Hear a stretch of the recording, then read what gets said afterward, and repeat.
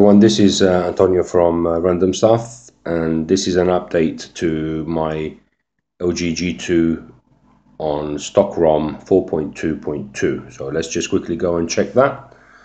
Uh, about phone and software information. As you can see, this is just the stock one that I got here in the UK.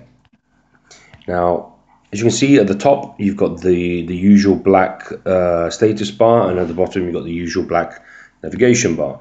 But on this screen, as you can see, they are transparent.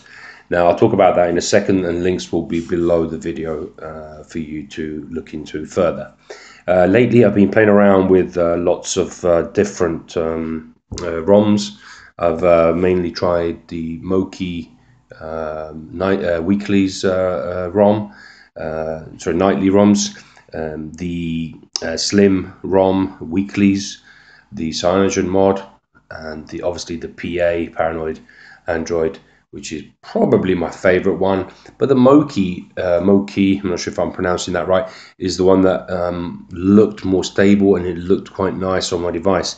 Now, one of the reasons why I've um, I've left the uh, the idea of going onto uh, 4.4.2 KitKat is the the fact that there is a big showstopper for me, and that is the Wi-Fi.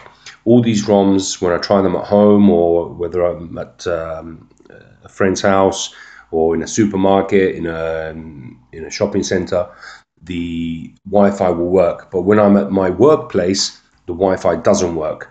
And I believe it's something to do with the either with the B, the G, or the N connection, or it could be something to do with the way the uh, device is registered on the router um, uh, with the MAC address. Not entirely sure, uh, sure. I used to have these uh, problems on my uh, S2 uh, when I was on the S2, and uh, at, at, the time, the Jellybam was my favorite ROM, but I couldn't use it because it was just great when I was home and away. But at work, it wasn't. Now I spend you know about eight hours a day at work, and I need a Wi-Fi that works great. And the only way I can get the uh, 4.4.2 at the moment to work is if I have uh, a special Wi-Fi set up just for me, which um, I can, but I'm not too near it, so the connection is not good. So for me, it's a showstopper. But enough about that. The um, one of the users um, suggested to me, why don't you use um, Xposed network to do the customization on your CyanogenMod, mod, which is true. And um, I, you know, I had used Xposed network before in the past uh, on the even on the S2 I used it. Um, but um, I've just done it now again and as you can see here I've got the Xposed um, installer installed and you can see here the framework. Uh, you can see that it's active and um, this is a really great piece of kit because as, uh, as you will probably know um, I'm not an expert but it, it does not interfere with the ROM itself and you can reverse anything that you do by just uninstalling it. Uh, the modules are here and I've only got one of the G2 in there and the tweak box is the one that I've uh, decided to go to the Google Play Store, download it and install it and it appears there in the modules. There's lots of modules, you can put Halo, you can put um, uh, Pi, um, you know, there's many, many things that you can do. Uh, it really, really is an excellent piece of, um, of uh, software. Um, but what I did do, I went on to the Google Play and I downloaded this one, the G2 settings Tweakbox, and um, I was torn between this one and the other one, which is available only for the G2, obviously.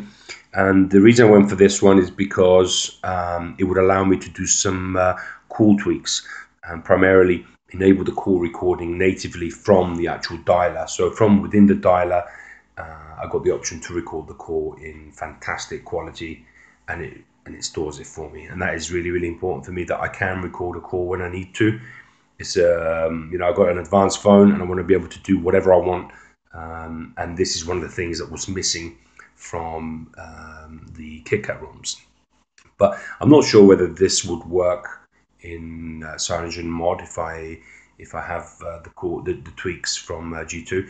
But I decided to pay for this application uh, primarily because you know if you want to do some of the uh, some of the cool features, you the great the grayed out features, uh, you have to pay one euro to this particular developer, and I have paid a euro straight away because I wanted as you can imagine, most of us want the status bar and the um, navigation bar. So the navigation bar at the bottom, the status bar at the top. We want to have the transparent top and bottom. So when you're on the launcher. So if I come out of this, you can see that it's um, transparent at the top and transparent at the bottom, which looks fantastic, and it's what we want.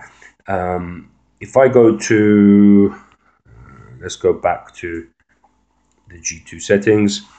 One of the other things that it can do is in the notification tweaks, you can hide the full battery. Uh, it's not the one I want to show you. On the lock screen, Well, uh, where's it gone? Tweaks, quick settings. So you can have the quick settings at the top completely disappear. So that whole row here, you can have that disappear. You can have the brightness disappear. You can have the uh, volume disappear. One of the things that the other G2 tweaks uh, would allow me to do, and this one doesn't, and I've uh, sent an email to the uh, to the developer. He responded pretty quickly, saying that he can do something like this, and he will try and he will try to implement this in his next release or when he can. And that is, if you press on the settings button here, it would be nice, as you can do this in the other G2 tweaks, to be able to make the status, sorry, to make the brightness and the volume disappear and then reappear again by by just pressing it on here on this screen. If I want to do it with the tweaks that I've purchased uh, here, I would have to basically come back to here and take it off and take it back on. Uh, another cool feature about the, the theme tweaks from this particular developer is, is that it's live. So all you need to do is just twist the screen and the changes will be um, uh, seen immediately for some things you will have to reboot though in order to see them. So it's got loads of loads of things. You know, I'll, I'll just quickly show you. If I hide the volume and the uh, and the brightness, um, if I come down, you see they're gone. Put them back on, oops, and they're back again. So it's it's really really cool.